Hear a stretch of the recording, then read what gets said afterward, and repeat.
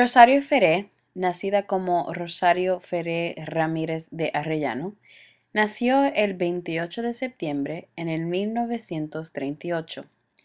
Ella nació en la isla de Puerto Rico, en la ciudad de Ponce. Ferré es hija de Lorenza Ramírez de Arrellano y Luis A. Ferré.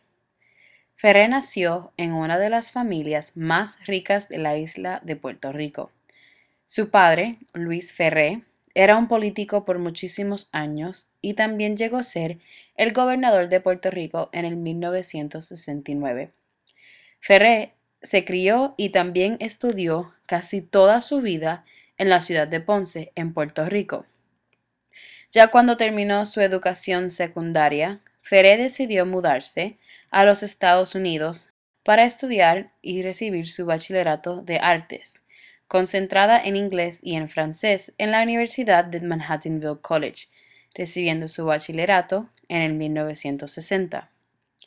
Luego de recibir su bachillerato, Ferré decidió regresar a su isla natal para recibir su maestría en la Universidad de Puerto Rico.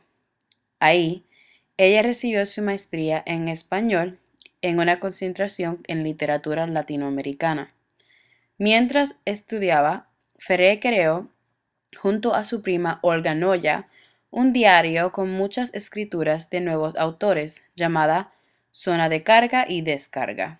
Ferré era la editora, fundadora y también publicadora del diario.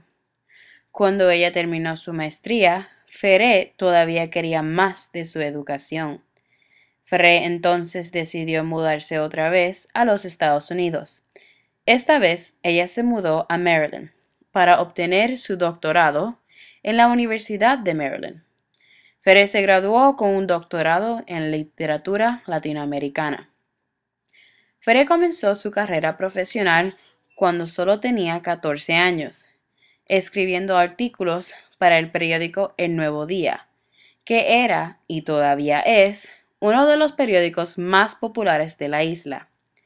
En su juventud, Ferré luchó para la independencia de Puerto Rico, siendo Puerto Rico territorio de los Estados Unidos, pero no un estado en sí. Esto causó mucha confusión con los que conocían a la familia Ferré, porque el padre de Ferré, siendo político, era defensor de que la isla se convirtiera en un estado. Años después, Ferré decidió dar su apoyo que Puerto Rico se convirtiera en un estado. Entre apoyar la independencia o que la isla se convirtiera en Estado, Ferré escribió muchos libros que han sido traducidos en muchos diferentes idiomas, como alemán, inglés y francés. Un libro que toca a mucha gente es la biografía que Ferré escribió sobre su padre, Luis Ferré, y también varios poemas de él. Ferré siempre supo cómo usar su propia historia para escribir cuentos con identidad y personalidad que la gente pudiera reconocer.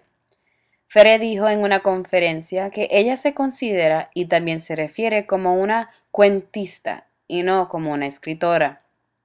Ferré menciona en su opinión, todas escrituras son autobiografías.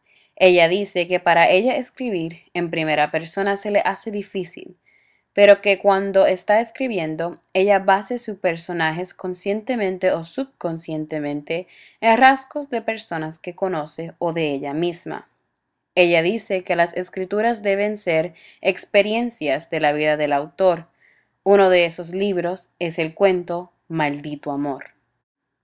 Maldito Amor es un libro que se trata de la vida de una familia rica de Puerto Rico y sus problemas familiares y de poder.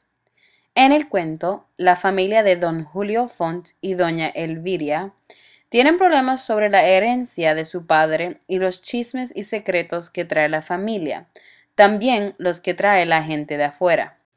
El libro de Maldito Amor se puede decir que es un símbolo de la relación entre los Estados Unidos y Puerto Rico.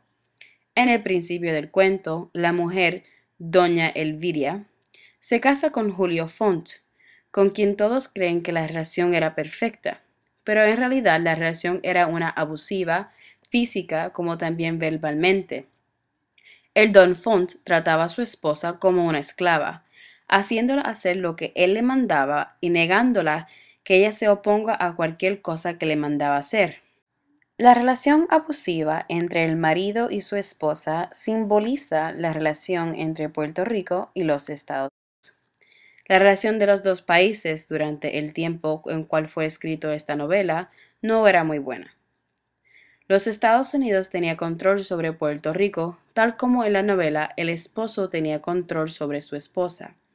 Puerto Rico era una isla recién libre sobre el control de España y querían tomar control sobre ellos mismos, pero como los Estados Unidos tomaron control de la isla durante la guerra de Spanish American War, no lograron obtener esa libertad que tanto anhelaban. Durante el tiempo en cual fue escrito este libro, los dos países estaban en un desacuerdo con quién iba a tener poder sobre la isla de Puerto Rico. En el libro, la violencia entre el marido y su esposa se puede prestar como un símbolo entre el abuso que muchos de los puertorriqueños sintieron de parte de los Estados Unidos. Aparte de ser autora, Ferré es una profesora. Ella ha trabajado en muchas universidades como la Universidad de Harvard, Universidad de California en Berkeley y Universidad de Rutgers y también la Universidad en Puerto Rico, en cual ella se encuentra hoy en día. No hay duda que Rosario Frey ha sido una mujer muy exitosa, marcando el paso para muchas mujeres. Sus escrituras son unas que capta tu atención en cual sientes la cultura hispana que es Rosario Ferré.